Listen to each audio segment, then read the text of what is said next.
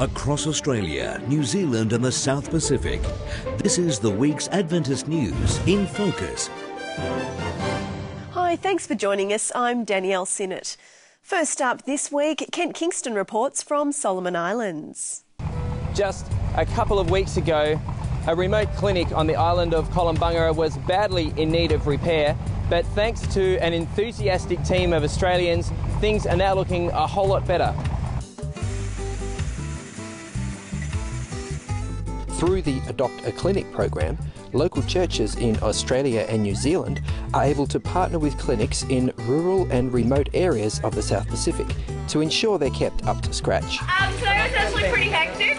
Um, we're all starting to get a bit like, oh my goodness, I'm ready for Sabbath. But yeah, no, it was really good. We actually accomplished a lot. Sick of painting. Thanks to the team from the Hillview Adventist Church in New South Wales, the clinic at Kukundu is now painted inside and out and has a covered walkway between buildings. The, uh, the results and the impact of the Adopt a Clinic has been enormous, has been amazing.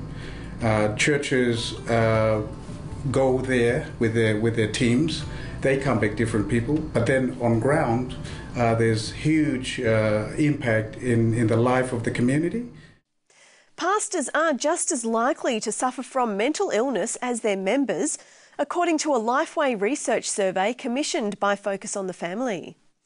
A quarter of the 1,000 Protestant pastors surveyed report personally struggling with a mental illness. What's more, 66% rarely or never mention mental health issues from the pulpit, and only 28% of church families are aware that churches have a list of mental health resources. So many ministers depressed. We think that's a surprise, but they're ordinary people, and more than that, they're people who are helping other people, which is so draining. Emotional, mental issues, big issue. And our Adventist Health Department have actually voted recently that going forward, this will be a special area of emphasis. Leaders of Christian denominations around the world are currently wrestling with the question of women's ordination. However, the president of the Seventh day Adventist Church says members should look into what the Bible says about the topic for themselves. In a recent interview, Dr. Ted Wilson also asked members to pray for God's guidance as the church looks to establish an official position on the subject at its General Conference session in 2015. Earlier this year, biblical research committees of the Adventist Church's 13 administrative regions submitted their recommendations on women's ordination, with recommendations split. Despite the division, church leaders have clearly stated their willingness to accept the decision made by the worldwide church. A major evangelistic series in Vanuatu has yielded impressive results, with more than 2,000 people baptised at the conclusion of the campaign. Crowds of up to 12,000 people gathered in Port Vila during the three week campaign, with many more tuning in to the series on free to air television, radio, and online. Among those baptised were 18 low risk prisoners who were allowed to take part in the baptism after following the series on Hope Channel.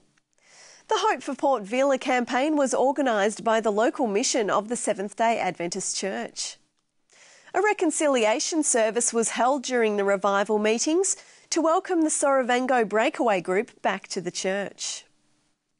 You can see more Christian news on this week's full half hour of In Focus, as well as these special features.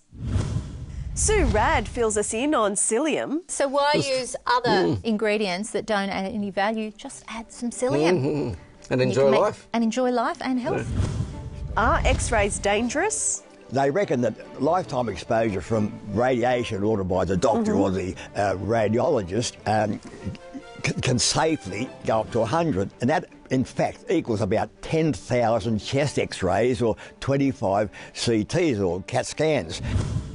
And Kent spends time in the Solomon Islands. Well, I'm here in the beautiful Solomon Islands with an enthusiastic group of young people. Speaking of which, I'd like to introduce you to Trevor and Helen Oliver. How are you guys? Right. Really well, thanks. If you'd like to watch any of those segments, follow the links on record.net.au or tune into our broadcast partners, Australian Christian Channel on Foxtel and Hope Channel or Digital 44 in Adelaide. Well, that's it from me. I'll see you next week on Adventist News. Take care and God bless.